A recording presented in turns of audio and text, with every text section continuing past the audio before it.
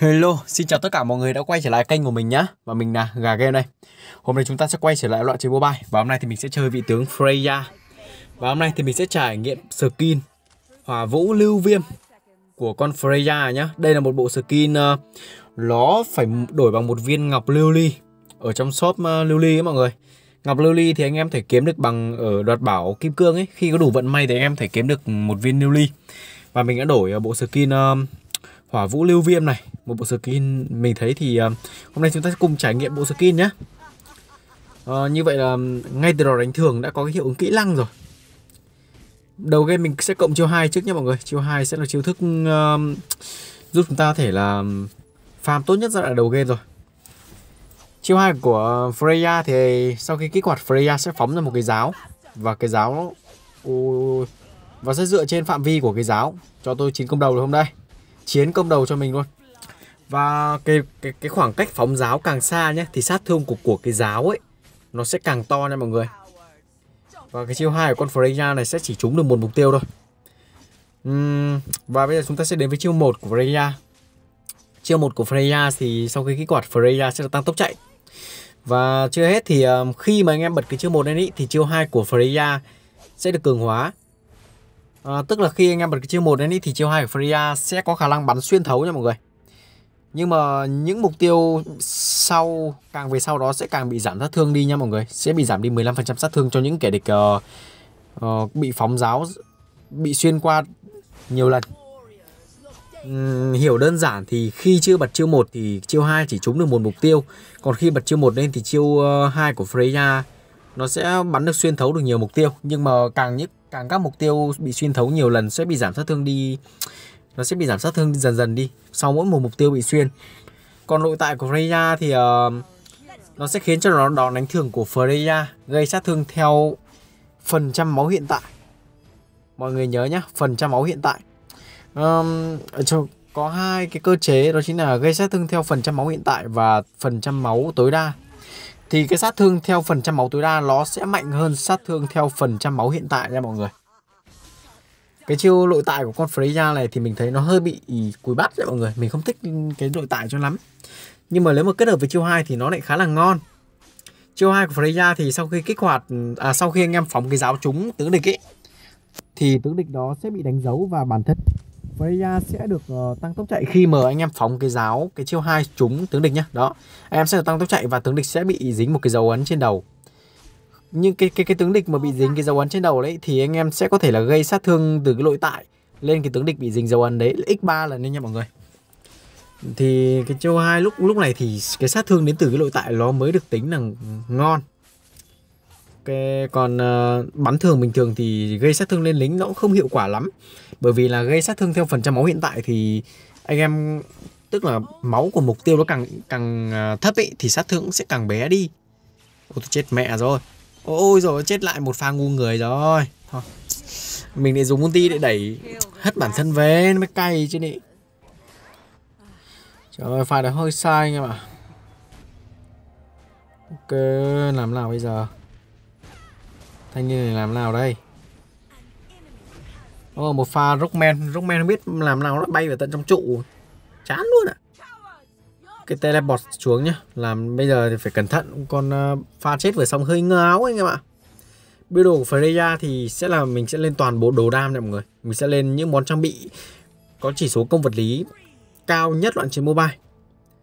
Chắc chắn thì không thể thiếu được cái giày chiến thần rồi. Cái giày chiến thần thì con tướng nào cũng phải lên giày thôi và sau đó thì sẽ lên uh, huyết đao trang bị mạnh nhất game. Trang bị vật lý mạnh nhất game. Sau huyết đao sẽ lên cái chùy cái có thể lên thẳng chú tiên. Sau đó mình sẽ lên cái chùy nhọn sau đó lên uh, cái gì lại mày lần này mày không bắt được tao đâu nhá. Sau khi lên cái chu tiên sẽ lên chùy nhọn. Sau chùy nhọn sẽ lên cái um, cái gì nhỉ? Cái gậy như ý. Và món cuối cùng sẽ là cái thần cơ à, nếu tem địch có nhiều khống chế quá hoặc là có nhiều pháp sư quá thì có thể là bỏ cái thần cơ để lên cái mắt trừ tà nha mọi người. Ờ, uh, Electros vừa lấy mất anti rồi bây giờ nó không bắt được mình lần nữa đâu. Mình sẽ cộng mắc chiêu hai nhá. Mình không thích cái cái nội tại con này cho lắm. Mình sẽ cộng mắc chiêu hai để có thể là phóng những cái cái cung phong giáo có thể là thốn nhất có thể. Đây là phóng này. Thốn chưa? Lửa mất lửa cây rồi nhá. Chiêu hai hiện tại là mắc level nhá đủ gần chết rồi kìa. Phạm vi của chiêu 2 càng xa thì sát thương của chiêu 2 sẽ càng càng to này mọi người. Chiêu 2 của Freya sẽ có sát thương tối thiểu và sát thương tối đa. Ừ, ôi rồi ôi tôi chết rồi ôi tôi chết rồi. Ôi rồi lần này lại thoát chết rồi thoát chết rồi. Thằng này mày muốn chơi tao à? Láo. Ồ mày quá phạm vi nó không đủ anh ạ ồ lại lổ mất cái trụ trên kia rồi bật chiêu một lên để phóng giáo gây sát thương lan này. Nó hoa mộc lan đi sờ bê đi. À, từ nhắc từ lẫy thì cái thằng sờ bê nó không đi cùng với mình. Thành ra là mình bị thằng Edachot nó bắt quả chết quả rõ xả mà ạ. Đông lính cái này không lên là lổ cái trụ ấy. Ok nhá. Anh em thấy hiệu ứng kỹ năng của bộ skin thì thế nào mình thấy nó được ấy nhỉ được ấy. Phong cách kiểu hỏa kiểu dung nham ấy cũng khá là đẹp cũng không phải là nói chung là có skin bao rộng hơn không có skin rồi. Hoa mộc lan dùng cả anti để để thịt luôn ạ. Pha đó nó cũng không chạy được mà mình có chiêu một mình dí mà. À chiêu một của Freya sẽ được tăng tốc chạy lên đến là 40 4 140 điểm tốc chạy nhá khi mà mắc chiêu một. Mình thì mình không thích cộng mắc lỗi tại trước. Mình thích cộng mắc chiêu 2 sau đó cộng mắc chiêu một còn cái lỗi tại thì mình à, mình để đấy mình không cộng. Ừ, được rồi con này thì cũng khá tốn mana đấy mọi người. Con này rất là tốn mana đấy.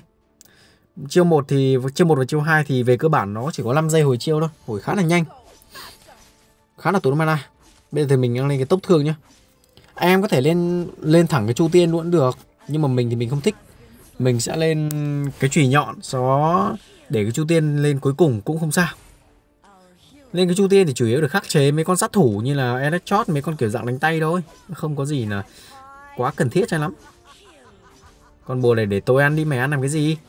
Ô đấy, rồi. Ăn bùa làm cái gì? Ăn bùa rồi lại chết.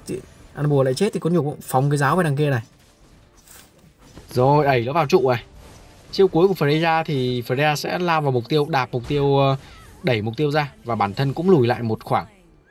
Cái chiêu cuối của Freya là một chiêu thức có thể bảo vệ bản thân rất là tốt. Ok nhá. Tê lại bọt xuống đây u tây tây tây tây tây tây môn định định định bay vào người nó nhưng mà nó mình nhớ là có nó hổ chắc là nó cũng hồi ulti rồi đấy. Phòng cái giáo phòng cái giáo anh em thể sử kết hợp với chiêu một để chúng ta có thể mày bắt ai bắt ai. Phóng. Má né được kìa. Thôi lấy cái trụ rồi thôi. Cái có trụ rồi. Uhm, với cái build đồ cái build đồ của mình chơi hôm nay ấy, thì sẽ là mình sẽ lên 5 món trang bị tăng công vật lý mạnh nhất loạn chiến mobile nha mọi người. 5 món công vật lý mạnh nhất loạn chiến mobile. Chủ yếu là để mình có thể là cho anh em thấy được cái lượng đam đến từ chiêu 2 lát nữa mình khi mà mình có một lượng đồ nhất định mình sẽ cho anh em thấy cái lượng sát thương đến từ chiêu 2 khi mà nó mắc mắc phạm vi như thế nào. À cái chiêu cuối Freya thì à, chưa hết nhá. Khi mà anh em sử dụng chiêu cuối lên cái mục tiêu à, thì mục tiêu đó sẽ bị làm chậm.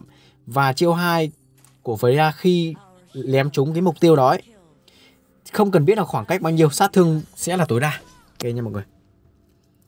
Và khi bật chiêu cuối lên thì chiêu một cũng được, nó sẽ được kích hoạt ngay lập tức nhá. Ngon luôn. Ồ, chạy à. Con này lát chót này thì mình cũng không không bắt được nó đâu. Không không, phóng phóng phóng phóng giáo đấy. Thôi chả cần phóng giáo nữa, đánh, ui rồi đánh thường cho nhanh em ạ. Đôi khi khi mà anh em dí mục tiêu ấy, anh em không nhất thiết phải dùng chiêu, anh em cứ đánh thường là đủ rồi dùng chiêu đôi khi lại, nó lại nó lại chạy được ấy. Nói vậy thôi chứ mình vẫn tiện tay mình phóng cái chiêu hai. Cậu mắc chiêu một và chiêu hai rồi, làm gì đây? Phóng bây giờ một một giáo cũng hơi bị thốn rồi đấy. Tí nữa lên xong cái chùy nhọn. À con này muốn muốn phóng giáo đâu ấy. Thì anh em phải có cái chùy nhọn nha mọi người. Phải có cái chùy nhọn thì phóng cái giáo nó mới thốn được. Chùy nhọn là một món sát thương à, là một món trang bị hay quá tây môn ạ nó nó là một món trang bị uh, giúp anh em có thể là gia tăng chuyển đổi sát thương thành sát thương thuần. Chuyển đổi cả sát thương tay cả sát thương kỹ năng đấy mọi người. Và sát thương thuần là sát thương có thể xuyên qua miễn thương xuyên qua cả giáp xuyên qua các chỉ số phòng thủ giáp ảo thì không thể xuyên được nhá. Cho nên là khi anh em lên cái chùy nhọn thì sát thương nó sẽ thốn bắn lên mình mình có tanker nó mới thốn được. Ô thằng này chắc chắc chắn là liệm rồi có huyết đao thì đam nó bắt đầu là đã có rồi. Nhưng mà phải có chùy nhọn thì bắt đầu là nó mới xuyên được vào nó mới xuyên qua được giáp của của mấy con tanker ấy mọi người. Mấy con tanker nó thốn lắm. À nó mới trâu á. Như con Elechot này này Nó nó nó vừa có giáp nó vừa có miễn thương. Khi mà nó bật chiêu một lên Cái dạng tướng như là uh, Con ờ, uh, Elet, Elechot ấy Rất là khó bắt. Có con Tây Môn thì may ra bắt được. Mẹ, nó, nó, nó kêu mình ra ăn bùa mà nhỉ? Sao nó lại ăn bùa của mình nhỉ? Chán rồi. Bùa để AD có phải ngon hơn không? Rồi nó bắt AD Ú, chiêu cuối của Freya có có thể sử dụng để để để chúng ta vượt vượt địa hình được nha mọi người? Có thể sử dụng để vượt địa hình được nha mọi người. Bây giờ mới phát hiện ra cái quả này anh ạ. À chiêu cuối của Freya thì có thể là đây cho cho mọi người xem ạ. Lửa cây. Anh em thấy cái lượng sát thương chưa? Làm làm phát nữa nhá làm phát nữa nhá ôi thôi thôi thôi, thôi không, không không không được rồi không được rồi. Ui rồi ôi rồi anh em thấy thốn chưa anh em ơi? Anh em thấy thốn chưa? Quá thốn luôn. Bây giờ thì mình sẽ bắn vào quái rừng để hồi máu nha mọi người. Anh em thấy cái lượng sát thương khủng khiếp đến từ chiêu 2 trước khi mà anh em đã có được một, lượng, một cái lượng đồ nho nhỏ này thôi. Chưa full đồ nha mọi người. Bây giờ là chưa full đồ. Chỉ lát nữa một full đồ thì chắc chắn là lát người luôn rồi. Chắc chắn một một giáo là cũng hấp hối luôn rồi. Có gậy như ý rồi từ khi có cái chùy nhọn này, anh em bắt đầu là cái chiêu hai của anh em bắt đầu là nó rất là thốn rồi nhá. Rồi phóng một giáo xuyên qua cả một tân lính luôn này. Một giáo thì không thể ăn được cả một tân lính đâu, bởi vì là nó có sát thương ờ, bị giảm đi, mỗi mục tiêu bị trừ mà. Ôi rồi ôi hai cái anti để mà để giết một con đắt kỷ có hơi lãng phí quá không? Quá lãng phí chứ còn gì nữa.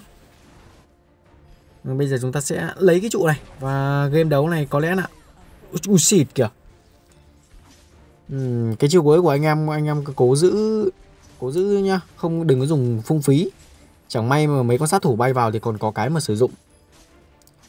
Uh, chiêu cuối Freya có thể khắc chế mấy cái dạng tướng sát thủ rất là ngon nhá. Bây giờ mày chết rồi. Quá thốn luôn. AD bên kia thì nó không thể xanh được bằng mình đâu nhá. Nếu mà về solo bây giờ thì AD bên kia không có tuổi với mình luôn. Một mình mình có thể cân được hai con Harley như vừa xong. Ok bây giờ thì ui rồi ôi gần nửa cây. Đang hoàn thành những món trang bị cuối cùng rồi. Cái gì đây? Cái gì đây? Ô cái cái gì đây? Cái gì? Cái gì? Cái gì? Ô có Zaka nha mọi người. Ăn tem mình ăn Zaka rồi. Nhưng mà game đấu thì cũng sắp kết thúc rồi. Uhm, có lẽ là ok. Video của mình đến đây xin được tạm dừng nhá. Và hẹn gặp lại mọi người ở những clip sau. Và đừng quên cho mình xin một nút like đăng ký kênh bật chuông thông báo để ngộ mình nhá. Còn giờ thì tạm biệt mọi người.